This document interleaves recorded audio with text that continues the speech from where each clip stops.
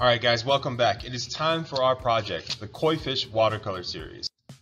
Now, before we get started, we kind of have to understand what a series is, and so, a series can be many things, but the paintings in a series all need to have a common thread that connects them together.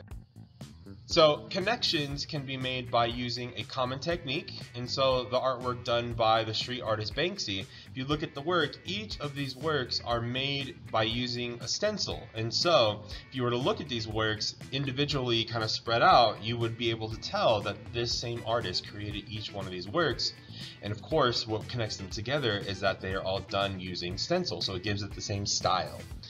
Next up, the, the next connection that could be made is by using a, a, this, a similar color palette. So Andy Warhol did a really good job by creating the 32 soup cans, and if you see the one to the left, again, every single one is the same exact color, the same exact font, the same exact shape and style. The only thing that is different is, of course, each soup flavor. And so again, if you were to separate all of these, you'd be able to see and understand that each one of these works was made by Andy Warhol.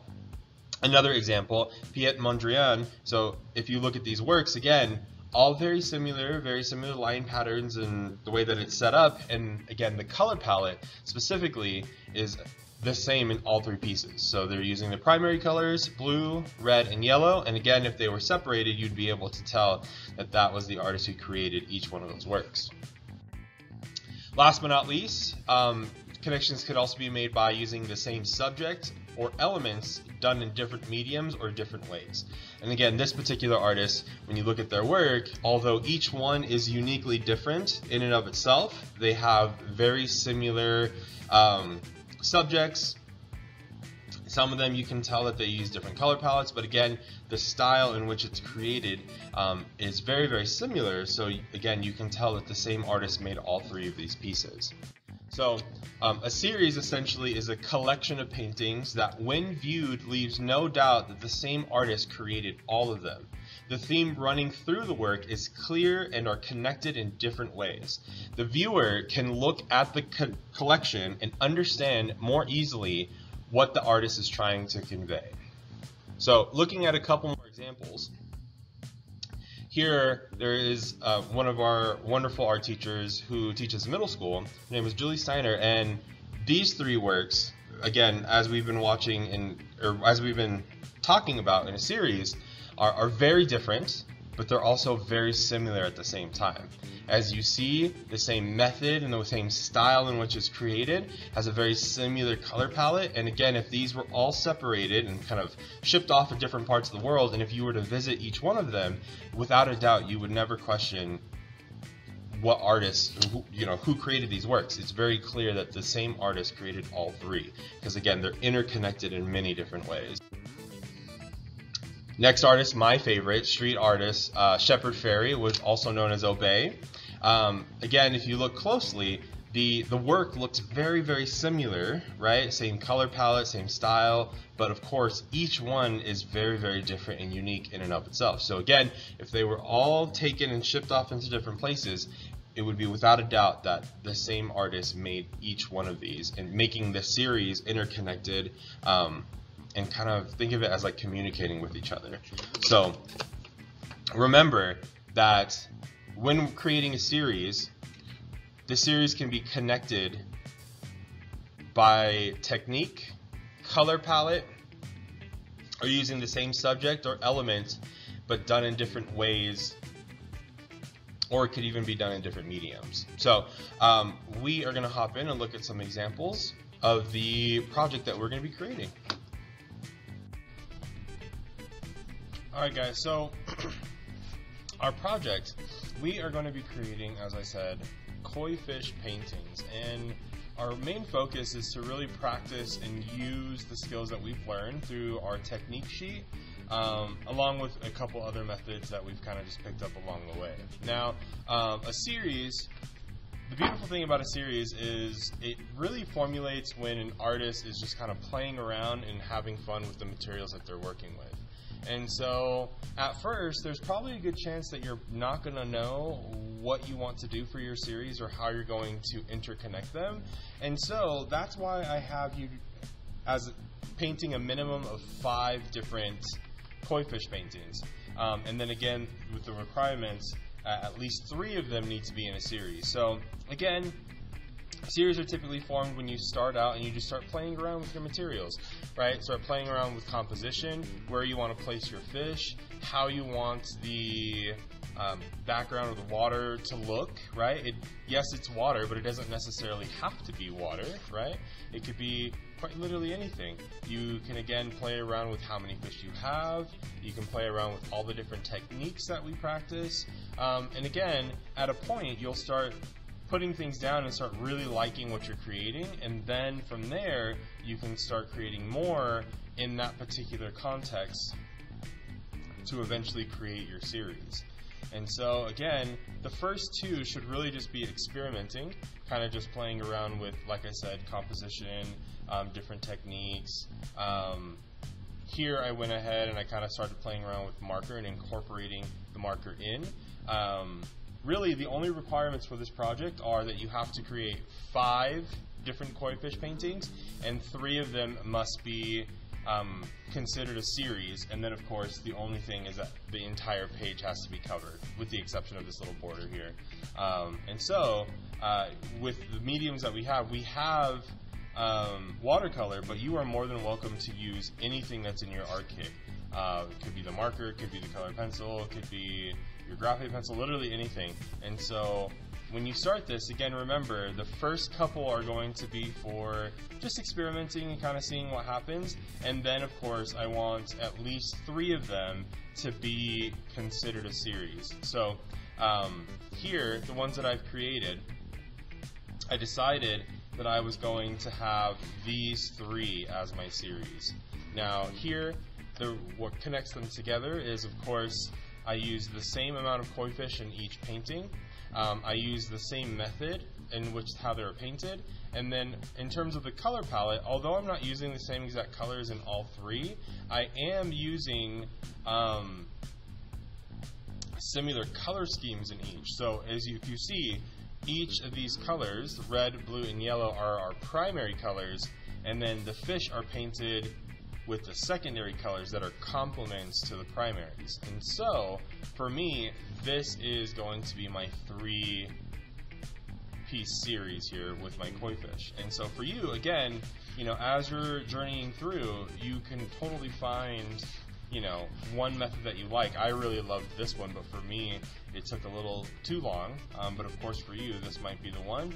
Um, but again, remember, this is where you get to be creatively free. Just understand that everybody is going to be creating something similar, so ask yourself, how are you going to stand out from the pack? How is your series going to be unique and special to you? And how are you going to show that, you know, this was created by you, the artist, um, and it's very distinct, distinctly so. So, we are gonna, I'm going to go ahead and show you guys how to approach this in the best kind of ways, and then you guys can get started. Alright, so the first thing you're going to need is the piece of paper that you're going to be painting your koi on.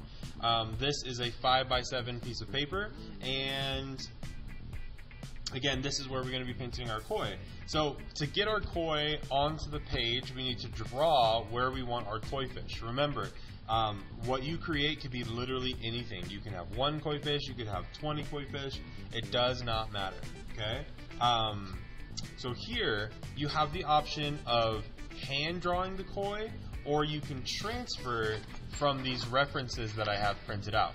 On these references, I have, um, it doesn't really look like it right now, but there's a variation of size. There's some smaller ones, some bigger ones, and as you see, they're all in different orientations and different positions. And so, you have um, a lot of option in terms of creating um, something unique and that's special and specific to just you.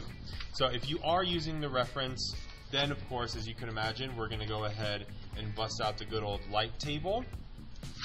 When using the light table, remember, you're going to plug it into the light table from our charging block. You're going to push the button, and then that's going to turn it on.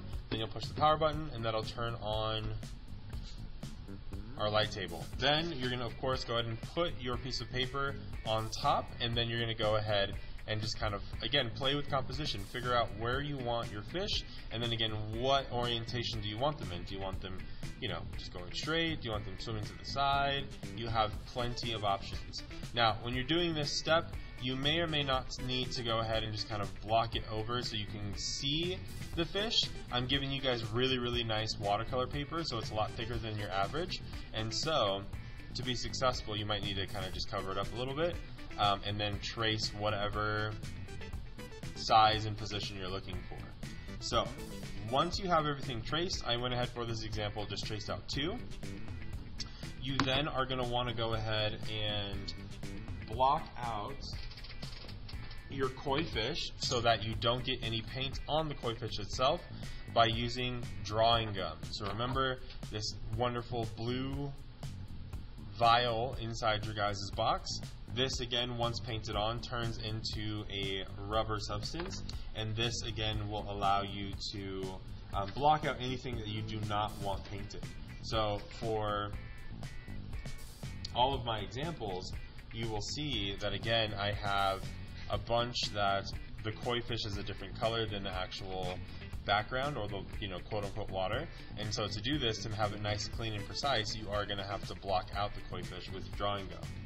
So here, remember, take your paintbrush, go ahead and dip it in, go ahead and paint. And when you're painting, you have to make sure that you get it very, very, very precise and right up against the line. Because remember, again, when it dries, it's going to block everything out. And if it's not sharp and crisp and you have nice, smooth, clean lines, it's going to um, not have the greatest outcome.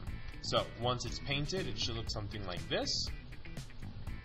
And again, this is blocking out and covering that piece of paper. So now, once you get to this phase, you're going to go ahead and just paint however you want. Remember, um, your goal is to kind of experiment and just play around with different possibilities. Maybe mix a couple techniques together, like I did this here. I did a, a flat wash, and then I also did um, some wax resist. So again, your options are quite limitless, and you can literally do whatever you want. So here, once you get everything painted, it would look something like this.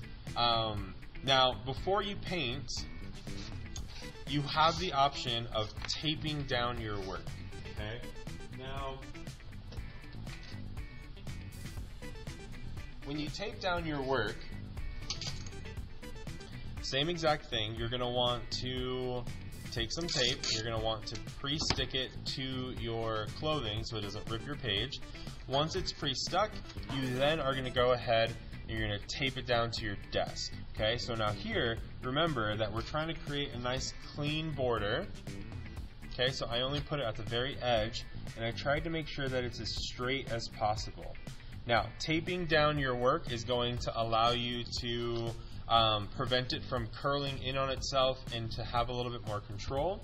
Um, thankfully, this paper is really, really thick, and so um, it's not going to curl in too terribly bad, but this taping down option is um, up to you. It's optional. You don't have to do it. It just makes your life a little bit easier. Okay? So, when you do tape your project down, of course, you're not you may not be able to paint it in one sitting, so you're just gonna have to take the tape off and then just kind of fold it back and then just unfold it next class. So again, last but not least, your painting will look something like this. Again, practice with different techniques, practice with different ways of painting the kois, and then again, don't be afraid to go ahead and possibly use some marker and add some lines and some textures and some details. Again, your options are limitless. You can literally do anything that you want. But remember, your goal is to try to make a series and make them all interconnected in some way, and then also have your own personal touch so that it's very clear that you, the artist, created all three that are in your series. So, with that said, good luck. Um, if you finish three and you want more in your series, you're more than welcome to. Um, remember, five is the minimum. Again, I want you guys to experiment and then also create, of those five, three in your series. However, if you want to create more than five, you are more than welcome to. Let me know if you have any questions. Good to go. Good job, guys.